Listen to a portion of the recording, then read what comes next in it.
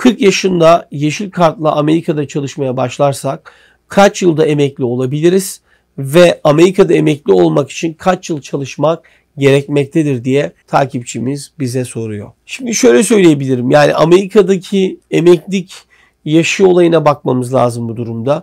E, dolayısıyla Amerika'daki emeklilik yaşını ya da emeklilikle ilgili verecek bilgiler aa, biraz daha detaylı olacak işin gerçi ama kısaca şunu söylemeye çalışayım size fazla yanlış yönlendirmeden.